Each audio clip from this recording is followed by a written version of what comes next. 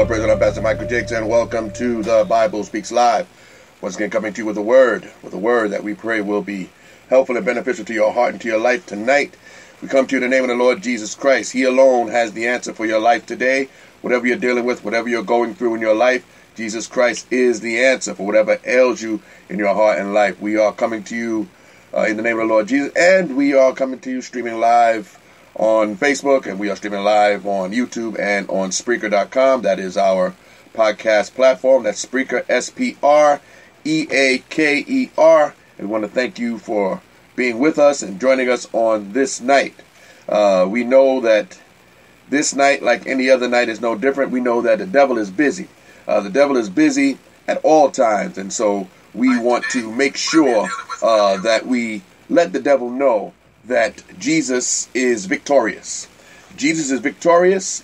Uh, Jesus, uh, at the same time that Jesus has a plan for your life, sometimes the enemy is also lurking and he has many things to say. But we know that the Lord shall and will overcome. And you are an overcomer in Christ Jesus. We're going to open up in a word of prayer and we're going to go straight into uh, the powerful and mighty word of God tonight because we know that he is absolutely able. Lord, we bless your name. We thank you, Lord. We thank you, Lord, because we know that you have the answer for whatever ails anyone today, Lord Jesus. We come to you because we know that you have the words of eternal life. So we pray that now you might take this word. And Lord, I pray you might use this word to touch someone, someone who is listening, someone who is watching, whether they are watching live, whether they are watching on tape delay, whether they watch it, whether they download it. Father, I pray that you will touch someone's heart today. In Jesus' name, amen. Amen. Once again, shout out to all of those who do listen listen in on Spreaker.com from across the United States and even around the world who take time to listen in live and download. Uh, I pray that the Lord will continue to bless you. Once again, you will help us out greatly by going over to our YouTube channel and subscribing to our YouTube channel. Once again, uh, that'll let us know that you're there, and I pray that also you'll be blessed by the things that you will find there. And anytime we have anything new to upload, which is quite often, you will be the first to know. Amen. Amen. So we want to bless the Lord. I want to take you to, I want to take you right into the Bible and take you to, uh, I want to take you right into uh, the book of uh, 1 Corinthians chapter number 6. 1 Corinthians chapter number 6, starting in verse number 9. 1 Corinthians chapter 6, starting in verse number 9. Amen. 1 Corinthians chapter 6, starting in verse number 9.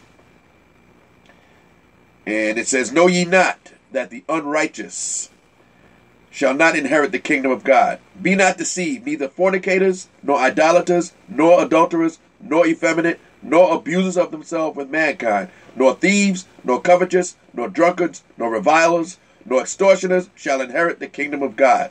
And such were some of you. But ye are washed, but ye are sanctified, but ye are justified in the name of the Lord Jesus and by the Spirit of our God. And I just want to talk to you tonight for a few minutes, just on one word. One word. And that's all, all we need is, is, is one word that explains it all, one word that tells it all, and one word will completely tell you exactly what it is about this life in Christ that makes it so unique. And that one word is clean. Clean clean? Are you clean tonight? Are you clean tonight? Have you been washed? Have you been set free by the power of the Holy Spirit? As we said, as we just read here in verse number 11, and such were some of you, such were some of you, but ye are washed. You are sanctified. You are justified. And that is in high order. To be washed, to be sanctified, to be justified.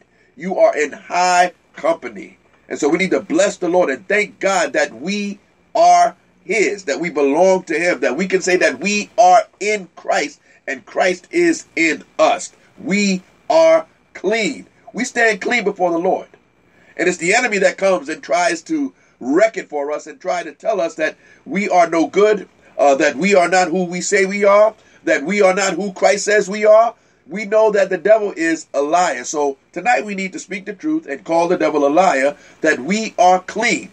We stand in his presence clean. This does not mean that we stand in his presence sinless. This does not mean that we stand in his presence spotless. We know that we have a lot of things going on. We understand that sin is is prevalent in this world, and sometimes sin tends to uh, attach to us like Velcro. But we know that we have a Savior. We know that we have a God that we can go to. We know that we can go boldly, as the Bible says, boldly to the throne of grace to receive uh, help in that time of need. So even though the enemy might rush in and come in like a flood, even though the enemy will lie, and he will bring condemnation into your life. You need to secure yourself and be assured of the fact that in the sight of God, through the eyes of Jesus, you are clean. We are, we are the righteousness of God in Him. The righteousness of God in Him. Once again, that does not mean uh, that you stand sinless. And this great truth, the fact that we are clean and we stand clean in the Lord, is what the enemy wants to keep from the rest of the world. He wants to keep this vital truth away from those who do not know the Lord. Here's what it says in Second Corinthians uh, chapter number 4 and in verse number 3. This is why we have to keep preaching the gospel. This is why we must not get caught up in politics. This is why we must not get caught up in all of the social mores of the world, uh, uh, of, of this life. We cannot get caught up in all of these different things that are going on that try to distract and take our attention away from the main point of why we are in Christ. And that is the gospel. He says here in verse number 3 of chapter 4 of 2 Corinthians, but if our gospel be hid, if our gospel be hid, if we are living a hidden gospel, if we are living a lifestyle where our Christianity is hidden, it does the world no good. That doesn't mean that you have to go out with signs and banners. That doesn't mean you have to run up and down the street saying Jesus, Jesus, Jesus. No, it doesn't mean all of that necessarily. But you cannot hide the fact that you are in Christ. Too many times we as Christians, we tend to blend in with the rest of the world. Blend in and be like the world and do what the world does. The Bible says that we should come out from among them and be separate. Separate. Remember, we are washed, number one. Two, we are sanctified. That means we are separated. There should be something different about you if you are in Christ. Something different. There got to be a different walk. They got to be a different way. They got to be a different style. They got to be a different. You, you do things different when you are in Christ because His Spirit is present in you. And you are going, if you are living in Christ properly, you are going to you are not going to be a hit in the world. You are not going to be popular with the rest of the crowd. If you live this life as Jesus lived his, Jesus was loved for a little while, but when they began to see what he was really about, people dropped off him like a hot potato. They walked away. When he said certain things, they said, This is a hard saying. We don't know if we can deal with this. And they walked away. They walked away from the Savior of the world because they couldn't deal with the truth that he was saying. They couldn't, they couldn't, it, it, it didn't ring true. It didn't ring a bell to them. You see, I was praying with someone only recently. And this is how, this is how I go. This is how deep this thing is that we have to, and I'll get back to the scripture in a moment that we cannot keep our gospel hid. I was praying with somebody just recently. And and as as I prayed, you know, I could I could sense I could sense the the, the power of God, the the presence of God. Not in myself, of course, but I could sense the Spirit of God that He wanted to do some work in this individual. And as I prayed, when my prayer was finished, when the prayer was done, the individual approached me and the individual said, as I was praying, as I was praying, she said, the person said that there was something telling her that I was lying. Something was telling her that I was lying. Now, that is none other than Satan himself evil spirits, whoever you want to say, the enemy, the enemy is out to distract. He's out to lie and tell the world that this message of Christ is not true. And as the power of God began to be spread through that little room, and we were in, as that prayer was going out, and she said that, she spoke the truth. She spoke the truth in that that is what she sensed something was telling her that this prayer, the words, that it wasn't true. It wasn't true. I'm here to tell you today that it's true. Jesus Christ can deliver you from whatever it is that has you bound. Jesus Christ can deliver you from whatever has you enslaved, whatever it is in your life that you cannot seem to overcome if you are overwhelmed. Jesus Christ has the power to break that thing and cause you to live and walk in Him.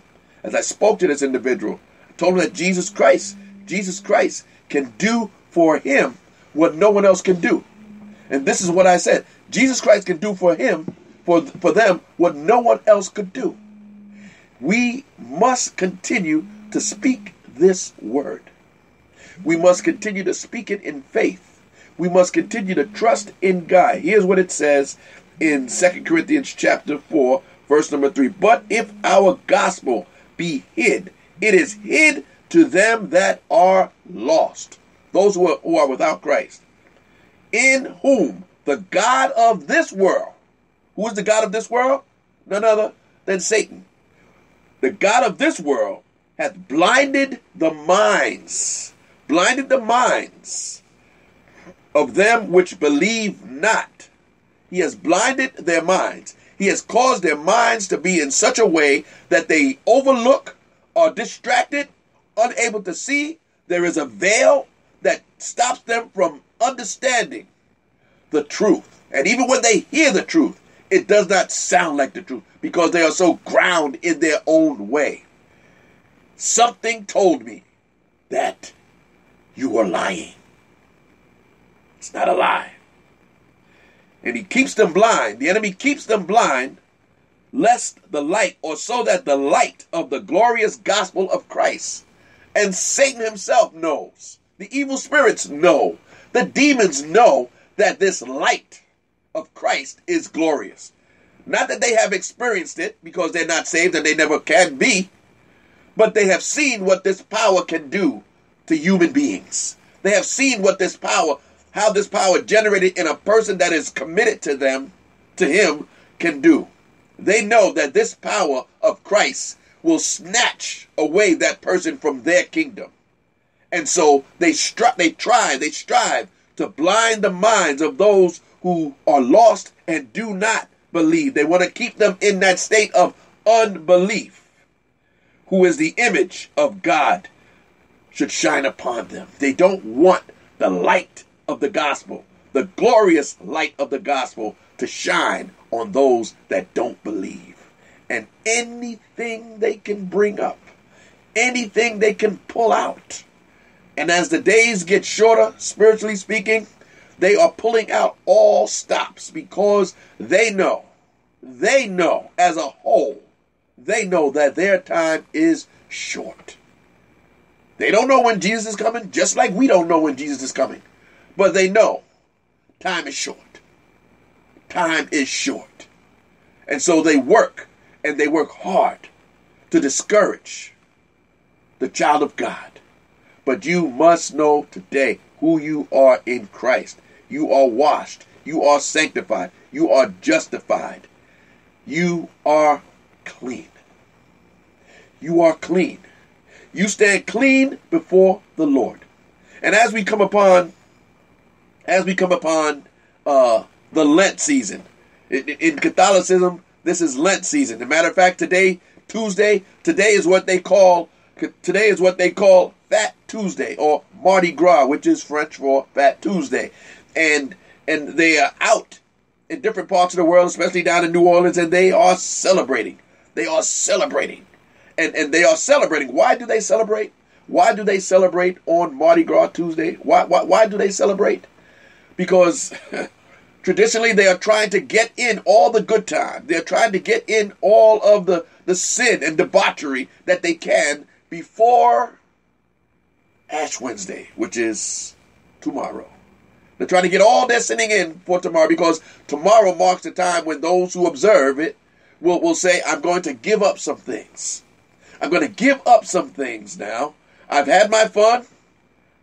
I've debauched myself. And now I'm going to relax and I'm going to give up partying for six weeks. 40 days, 47 days if you count the Sundays. I'm going to give it up. I'm going to give up smoking. I'm going to give up drinking. I'm going to give up going to parties. I'm going to give up cursing. I'm going to give up lying. I'm going to give up something. Something that I know is not right and is not good. I'm going to give it up. I'm going to give it up. Now, all of this, all of this is done by unsaved people. Unsaved people. There are some in the Protestant community who observe Lent. I don't know why. I mean, it's not in the Bible. It's not in the Bible, but they observe it. Some who are Presbyterian, some who are Lutheran, some who are Methodists, some Anglicans, they all observe it. But it is traditionally something that is Catholic. And they're going to they're going to have 6 weeks of self-discipline. Self-discipline. 6 weeks. After that, gloves are back off and we can be our old self again. See, this is not how the Lord wants us to live. You see how the world, you see, you see the blindness, you see the lostness of people, how they will do and behave in that way, thinking that by, they believe that by, by not doing certain things, by sacrificing certain things, that it's going to give God some pleasure, that it's going to cause God to turn around and bless them. Look, Lord, what I gave up. Look, God, what I haven't done for six weeks, and now you're going to bless me. No, no. You cannot earn God's grace. You do not earn God's favor. His favor, His grace is a gift. It is a gift. You cannot earn it. This is what it says in, in the book of Romans. Romans chapter 5. Romans chapter 5 and verse number 17. Romans 5, verse number 17. For if by one man's offense death reigned by one, much more they which receive abundance of grace and of the gift of righteousness shall reign in life by one Jesus Christ. Gift of righteousness.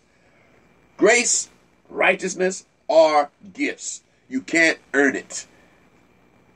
Grace is God's unmerited favor.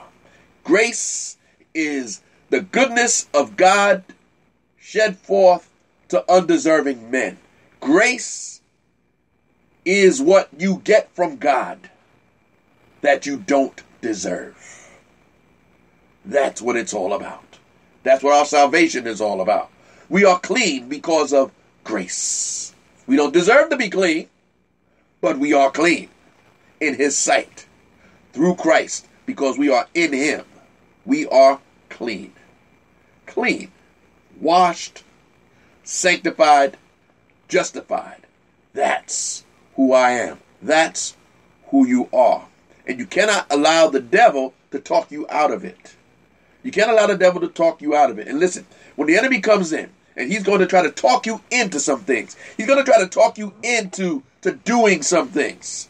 He's going to try to talk you into, he, he's going to try to rationalize and say things like, no one will know. He's going to say things like, um, everyone else is, is doing it. Uh, join the fun, join the crowd. You're missing so much. Those are the kind of lies that the enemy is going to reach out and try and tell you. But the devil is a liar. The devil is a liar. He speaks lies because it's what he knows. It's all he knows. He knows how to lie and lie is what he will do, and lie is what he will continue do, to do up into the end. Don't be blinded. Don't be blinded by the enemy. Don't allow him to speak to you. Listen, don't try and have a running conversation with the devil. Do not attempt to have a running conversation with the devil. It won't work. It will never happen. You will find, you will find that you will lose that battle. You will lose that battle. He ran circles around Eve, and he will run circles around you if you decide to have a one on one with the enemy. You can't have a one on one with the enemy.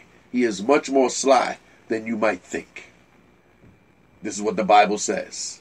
So he's crafty, and he will come against you with all he has. He will come to you with all of his smoothness. He will come against you in whatever way he can, but he will do his best. He will do his best to stop you, to stop you and prevent you from walking with Christ in the way that you ought to.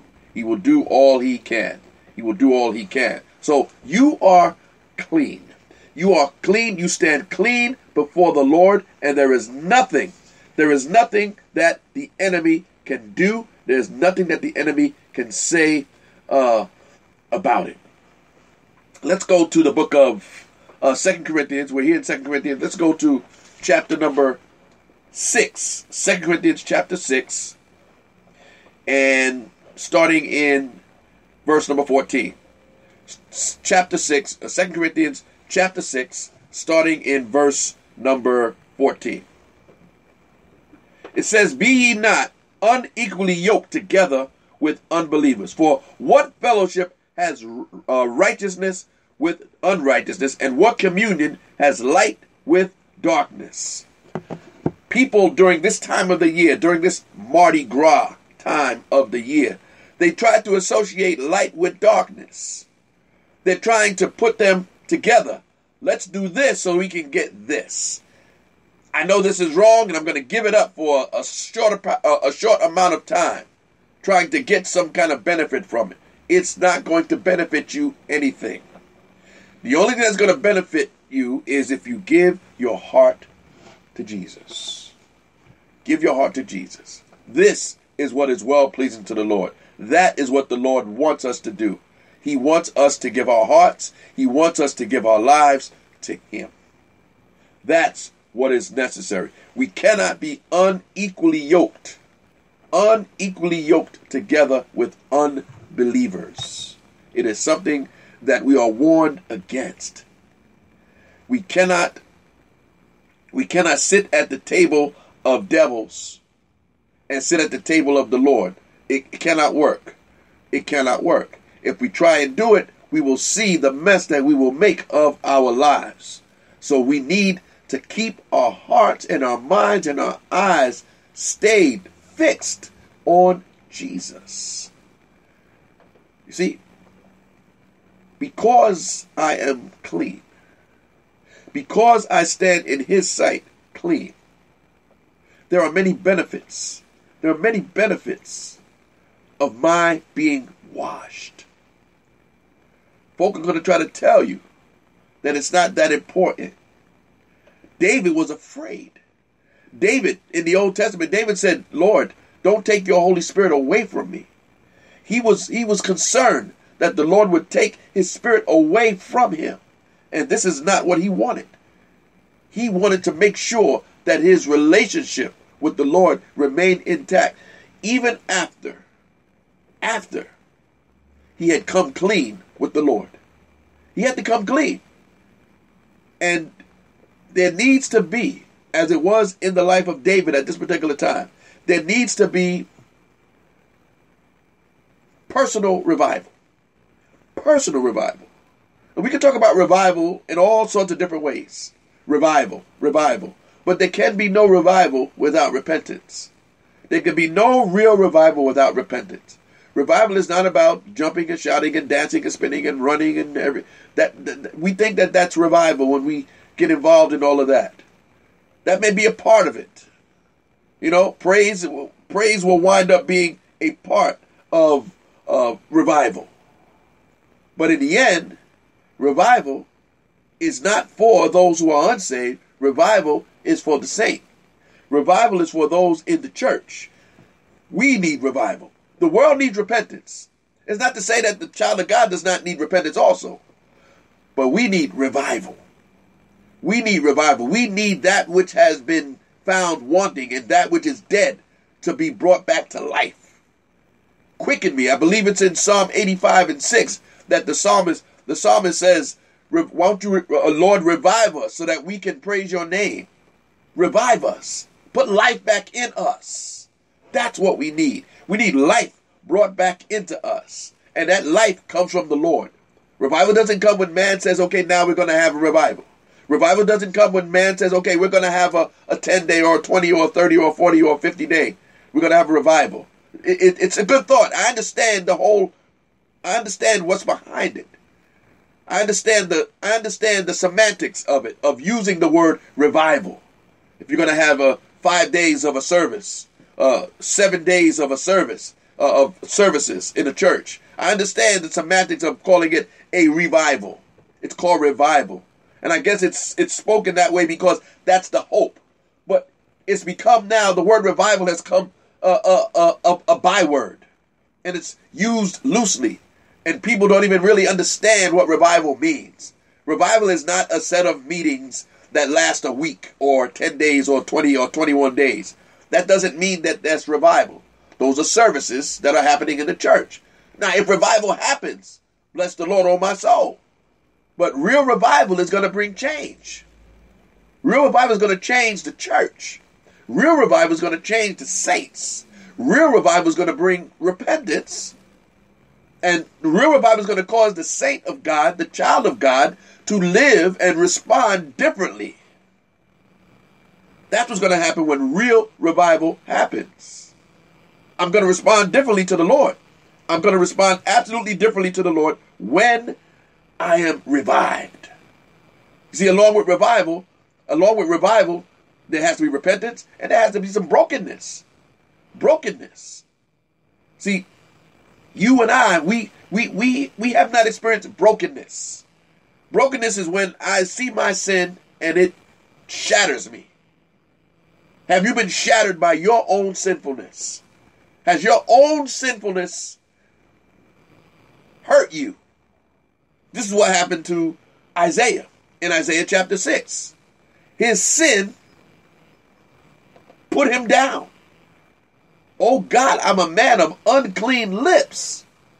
I'm unclean. Ah, but it was the Lord. Let's go there real quick. Let's go to Isaiah uh, chapter uh, number six. The first few, the first few verses of Isaiah chapter six, when the psalmist is crying out when he finds himself in the presence, in the presence of God, and he says in verse number five, "Then said I." Woe is me, for I am undone, because I am a man of unclean lips, and I dwell in the midst of a people of unclean lips. Why did he find himself in that state of uncleanness? Why did he find himself in that place where he said he was undone? It was the result of being in the presence of God. You see, we, we, we think we think that being in the presence of God simply means that God is here and we're going to shout and we're going to praise his name. Okay, that's good. We should. The Bible doesn't say anything that it's wrong to praise the Lord. The Bible says that when we when we are in his presence there should be shouts of joy. So there's no contradiction. There's no contradiction. But the child of God needs to be discerning and know when the Lord is looking for praise and when he's looking for repentance. Sometimes we need to repent. Repent. And there can be no revival until there's repentance. And when revival comes, there will be washing going on. There will be cleaning going on. He will cleanse our hearts. He will cleanse our minds. He will cleanse us. And we will say, we will say, like David said, that my sin and my sin alone has brought me to this place. That's what needs to happen. We need to be cleansed from our sin. Here's what happened in Isaiah chapter 6, verse, num- verse number 6. Then flew one of the seraphims into, unto me, having a live coal in his hand, which he had taken with the tongue from off the altar, and he laid it upon my mouth, and said, Lo, this hath touched my, thy lips, and thine iniquity is taken away, and thy sin purged or cleansed. That's what God can do. That's what God will do when repentance comes and when revival, real revival comes. You're going to be changed. You're going to be different. On Sunday morning, we spoke about revival a little bit, and we spoke about the revival that happened in uh, Acts chapter 19. Acts chapter 19, when the people saw the power of God, when they saw what the power of God could do, when they, when they saw what the name of Jesus could do, here's what happened. The Bible says that many that believed, the believers came and showed their things that they had been doing. They confessed and they came clean. They confessed and they showed the things that they had been doing, I guess undercover, who's to say? But there were things that they had not yet let go. You see, when we get saved, when we get saved, the change is instantaneous and at the same time at the same time it's progressive. Instantaneous and progressive. He immediately comes into your heart. He immediately comes and makes you a new creature. You immediately come brand new. And he gives you a new set of thoughts and a new set of eyes and a new set of a new heart, a new spirit. Everything is new. But certain things leave you in a split second. You have no need, you have no desire, you have no want, it's gone. But there are certain things, clinging vines of sin, there are certain things that, that still try to hold on to you. Certain things from the old life that still try to creep up in back into your life. Doesn't mean that you're unsaved. Doesn't mean that what it didn't mean it doesn't mean that God didn't do a complete work in you. It's just that the enemy, the enemy comes in. He rushes in, he rushes in when you get saved. Listen, now now the fight is going to start. Before you got saved, you didn't have any problem with the devil. I know you thought you did. You thought you had a problem with the devil before you got saved. But you didn't have a problem. You were on his side. You were doing what he wanted you to do. You were being how he wanted you to be. He didn't have any problem with you. But as soon as you become a Christian, you don't belong to him anymore, and he does not appreciate that. Now he's coming. Now he's coming. And so when you get saved, the Lord changes your heart, changes your life, and you don't want to be, you don't want to do the things you used to do. But after a little while, the enemy comes in he tries to come in. He tries to make different approaches at you. He'll come in this way. He'll come in that way. He'll come in. He'll lie. He'll he'll do different things to try to get you to come back, to fall back into what you used to be, to fall back into how you used to do. And he will do this progressively. But you have to understand your position. Your position is, and I'll repeat it again, you are washed, you are sanctified, you are justified. That's who you are. You're not any of those things anymore. And as we close, as we bring this to a close tonight, let me bring you back. I'm going to bring you back because it's so powerful. I'm going to bring you back to Second Corinthians, uh, chapter number 6. And we're going to read this again. So you get it in your heart, and you get it, uh, you get get it in your heart, and get it in your mind exactly, exactly who you are in Christ.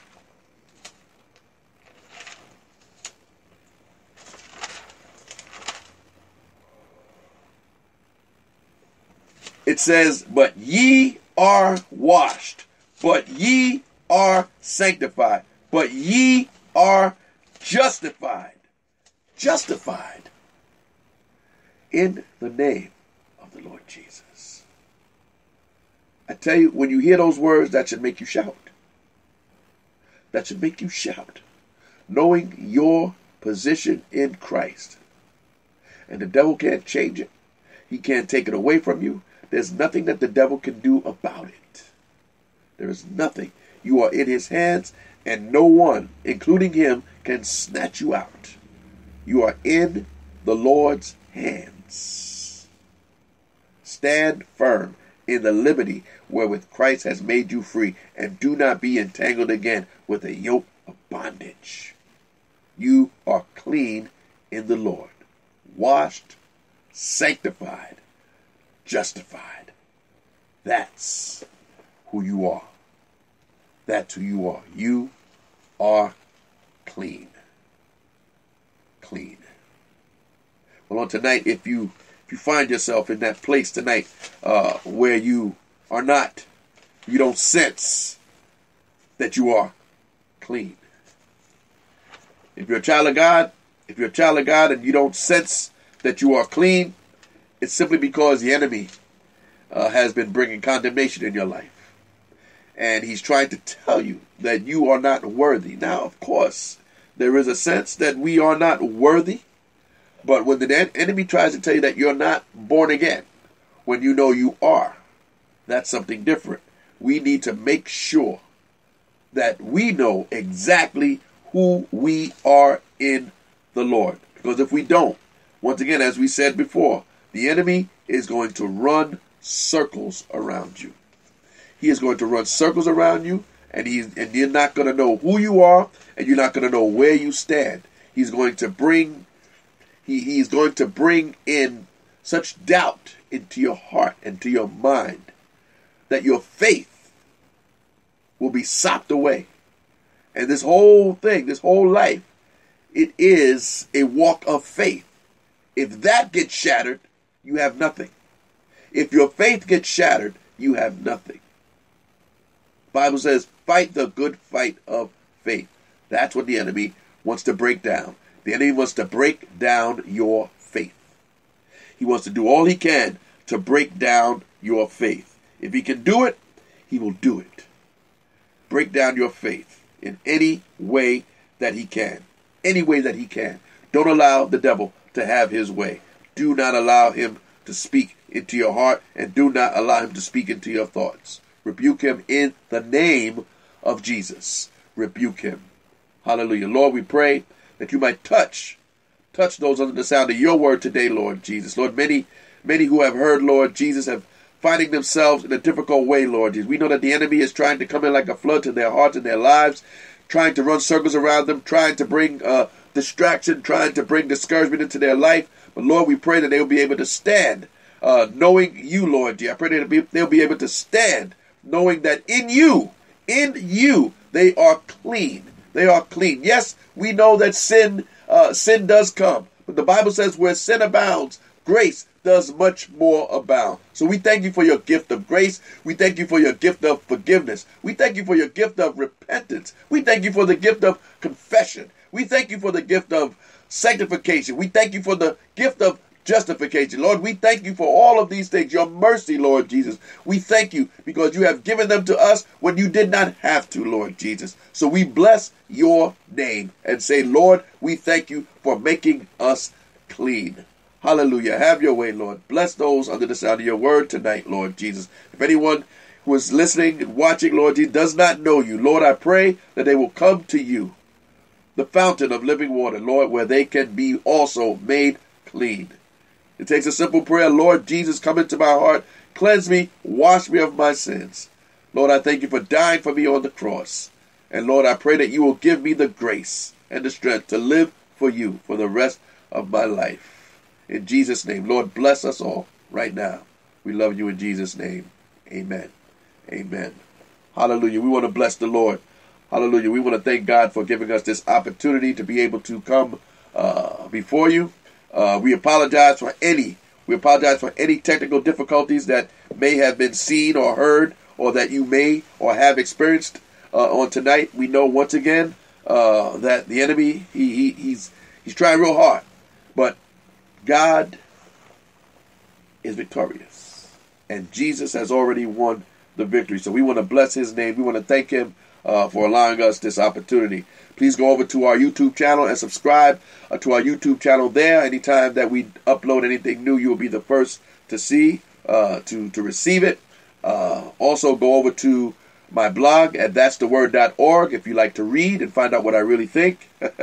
and also, uh, if you uh, also go to Spreaker, you will find several other podcasts that we produce, uh, whether it be Bible study, whether it be devotion, whether it be sermons, Bible classes.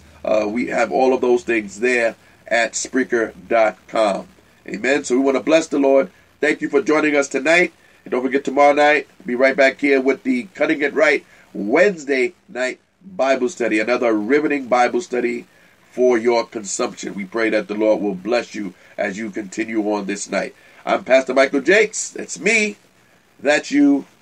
Have a good night. May God bless you.